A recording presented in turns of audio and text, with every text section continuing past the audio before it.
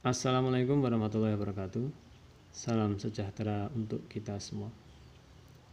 Pertama marilah kita panjatkan puji syukur kepada Allah Subhanahu wa taala, Tuhan yang Maha Esa yang sudah memberikan rahmat dan karunia kepada kita sehingga kita bisa mengikuti kuliah pada kesempatan kali ini. Di sini saya akan memberikan materi terkait mata kuliah promosi dan pendidikan kesehatan dengan judul Media Promosi Kesehatan. Di dalam melakukan promosi kesehatan, kita perlu menggunakan media promosi kesehatan. Sehingga teori dari media promosi kesehatan perlu kita pelajari. Konsep media promosi kesehatan. Media dimaknai sebagai segala bentuk yang dimanfaatkan dalam proses penyaluran informasi. Jadi segala bentuk ya yang bisa dipakai dimanfaatkan untuk proses penyaluran informasi atau untuk uh, penyampaian pesan itu dinamakan media. Teori lain menyebutkan menurut NEA National Education Association, media dimaknai sebagai segala benda yang dapat dimanipulasi, dilihat, didengar, dibaca, atau dibincangkan beserta instrumen yang digunakan untuk kegiatan tersebut. Dalam teori ini disebutkan media itu segala benda yang bisa dimanipulasi. Dimanipulasi artinya apa? Bisa dimodifikasi, dijadikan menarik sehingga sasaran itu menjadi tertarik gitu. Kemudian juga bisa dilihat, didengar, dibaca atau dibincangkan yang nanti akan bisa digunakan untuk kelancaran dari kegiatan promosi kesehatan itu itu media.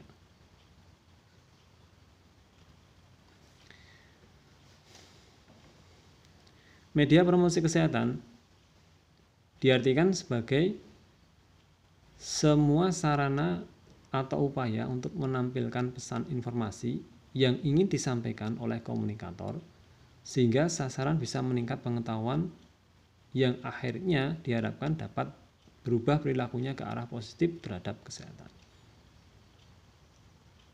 Ya, jadi media promosi kesehatan itu semua sarana ya. Sarana apa saja yang bisa dipakai untuk menampilkan pesan informasi oleh komunikator nah, dengan tujuan nanti meningkatkan pengetahuan dari sasaran sehingga diharapkan sasarannya itu merubah perilaku ke arah positif ya. Perilaku ke arah positif itu artinya apa? Perilaku yang menunjang kesehatannya. Ya. Itu. Itu pengertian dari media promosi kesehatan. Fungsi media promosi kesehatan. Promosi kesehatan perlu adanya media.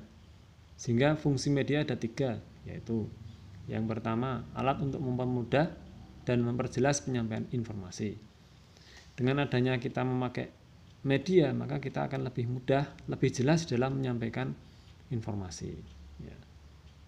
Misalnya kita memakai media elektronik ya. Nah, dengan media elektronik ini kita bisa mudah jelas di dalam penyampaian informasi kita. Ya. Kemudian yang kedua alat untuk memperlancar komunikasi. Media ini juga berfungsi sebagai alat untuk memperlancar komunikasi. Ya. Misalnya ya, kita melakukan promosi kesehatan.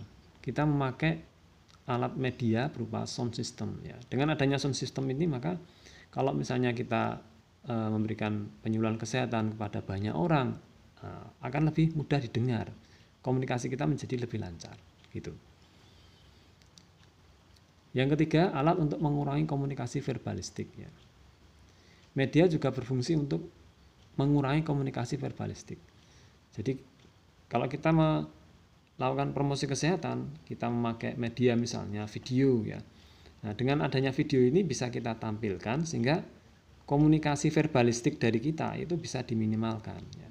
Kita bisa melihat videonya ya itu. Itu sehingga media ini sebagai alat untuk mengurangi komunikasi verbalistik.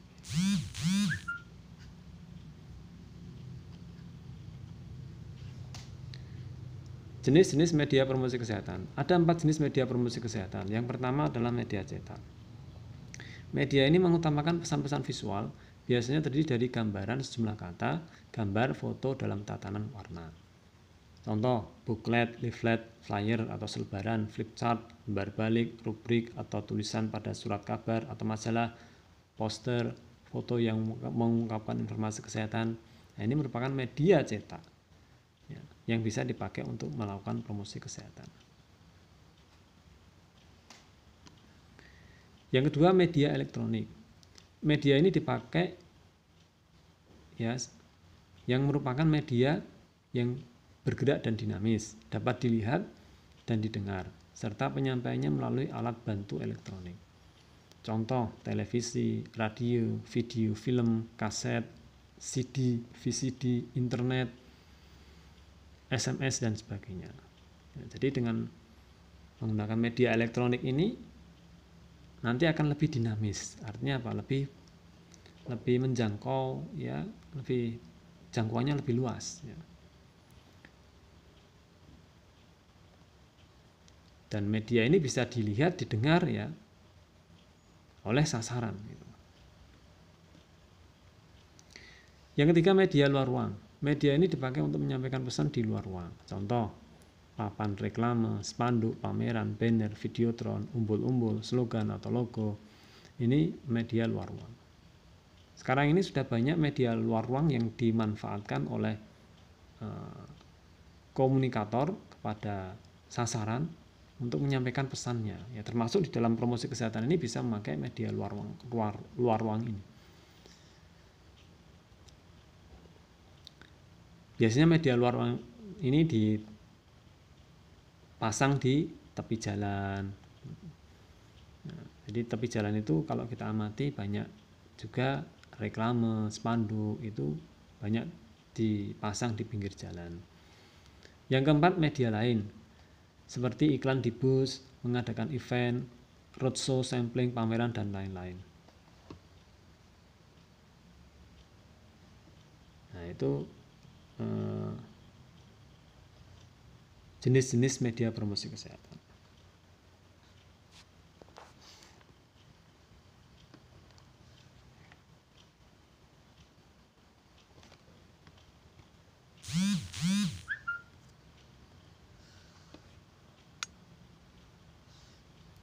Nah ini contoh media leaflet ya. Leaflet itu adalah uh, selebaran yang di situ bisa bolak-balik ya nama apa namanya pesan yang disampaikannya tulisan dan gambarnya ada di depan halaman sama belakang halaman kemudian di eh, bentuk menjadi tiga kolom gitu.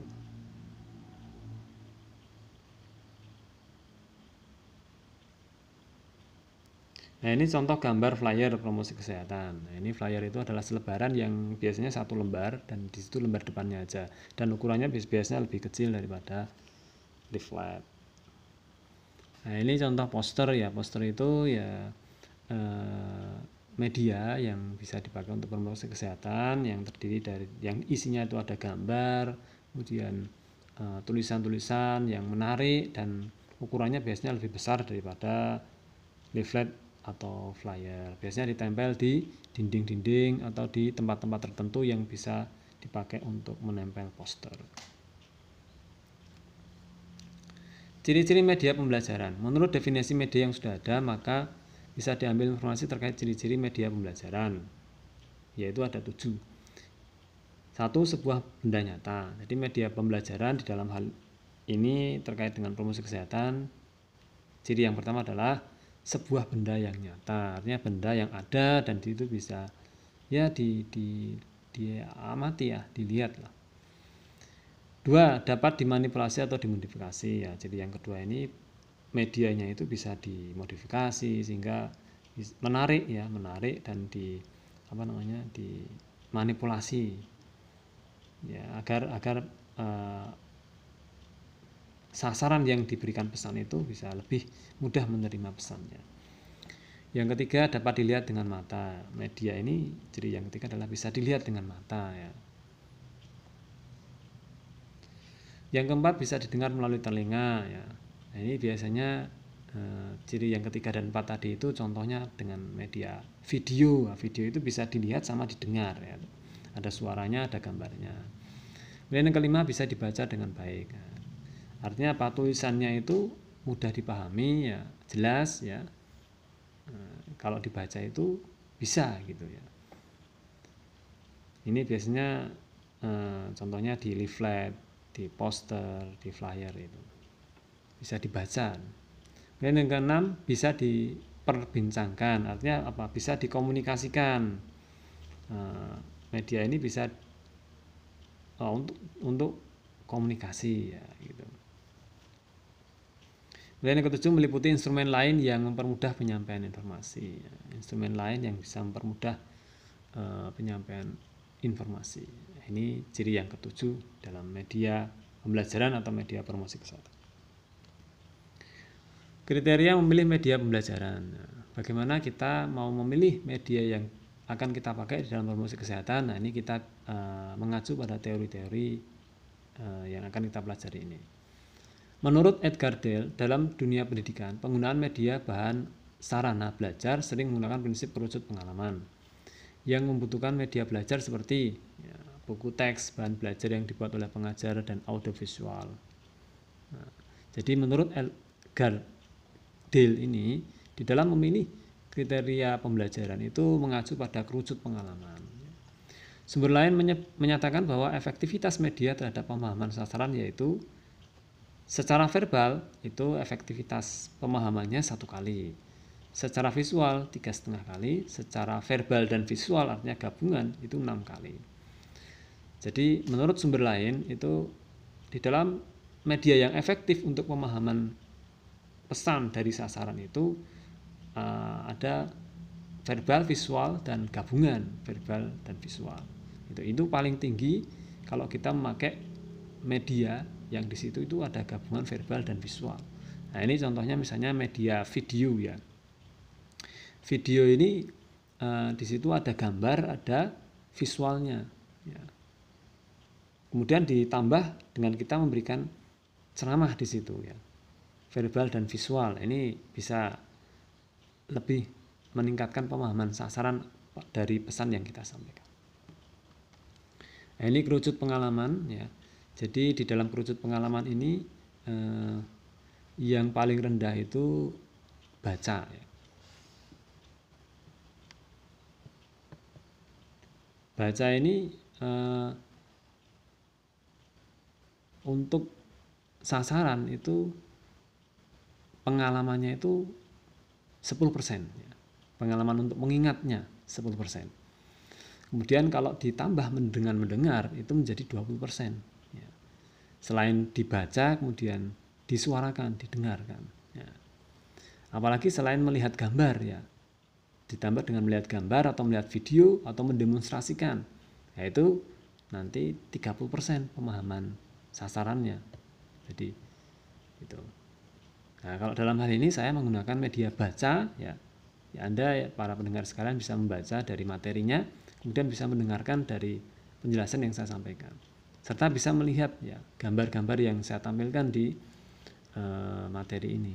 Nah ini 30%. Ya, diharapkan 30% pemahaman pembaca itu atau pendengar itu uh, bisa terwujud gitu. gitu. Kemudian yang paling tinggi adalah melakukan simulasi, menger, melakukan simulasi, mengerjakan hal yang nyata. Mengerjakan hal yang nyata ini paling tinggi. Jadi uh, medianya ya pakai praktek ya. Kita melakukan praktek di situ dan nanti sasaran memperagakan. Ya. Itu nanti pengalaman di dalam uh, pembelajarannya, di dalam mengingatnya kurang lebih 90%. Nah, itu. Itu menurut kerucut pengalaman. Himbauan dalam pesan media. Pesan yang disampaikan akan efektif bila memperhatikan tujuh hal berikut. Yang pertama, command attention. Kembangkan satu ide atau pesan yang menarik perhatian dan mudah diingat. Ya.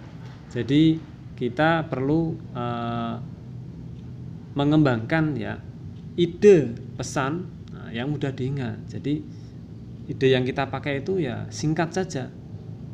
Singkat ya. mudah diingat ya artinya fokus ya fokus mudah diingat dan yang kedua clarify the message buat pesan mudah sederhana dan jelas ya jadi kita membuat uh, pesan ya untuk disampaikan kepada sasaran itu kita perlu buat sedemikian rupa sehingga menjadi pesan yang mudah diterima oleh sasaran. Jelas ya. Kalau dari segi tulisan ya bisa dibaca. Kalau dari segi gambar ya mudah dipahami. Clarify the message. Kemudian keempat crash trust ya. Pesan harus dapat dipercaya. Jadi pesan yang kita sampaikan ini usahakan ya dari sumber-sumber yang bisa dipercaya ya. Gitu. Pesan isinya juga bisa dipercaya kemudian yang keempat communicate benefit. Komunikasikan keuntungan melakukan tindakan. Jadi kalau kita menyampaikan pesan nah nanti sasaran itu keuntungannya apa bila melakukan pesan yang kita sampaikan itu? Nah, itu disampaikan di dalam uh, promosi kesehatan itu. Nah, itu communicate a benefit. Menyampaikan keuntungan dari tindakan yang uh, kita pesankan di dalam promosi kesehatan itu kemudian yang kelima konsistensi pesan harus konsisten ya sampaikan pesan secara berulang kali baik di media televisi, radio, poster maupun media yang lain. Jadi di dalam kita menyampaikan pesan promosi kesehatan atau penyuluhan kesehatan itu kita sampaikan konsisten ya. Kalau kita menyampaikan tentang perilaku hidup bersih dan sehat ya nanti tetap disampaikan perilaku hidup bersih dan sehat di media lain ya. Tidak hanya sekali penyampaiannya, perlu berulang kali. Kemudian yang keenam, cater to the head and hand. Pesan harus bisa menyentuh akal dan rasa. Jadi pesan yang kita sampaikan ini usahakan masuk akal ya, masuk akal ya. Masuk akal dan bisa menimbulkan kesadaran, artinya rasa ya. Masuk dalam hati sasaran dan menimbulkan kesadaran. Kemudian yang ketujuh, call to action. Pesan harus mendorong sasaran untuk bertindak jadi pesan yang kita sampaikan ini usahakan ya memotivasi sasaran untuk bisa melakukan tindakan di dalam pesan itu, gitu. sehingga nanti e, meningkatkan pengetahuan dan e, perilaku hidup sehatnya. Nah, itu call to action.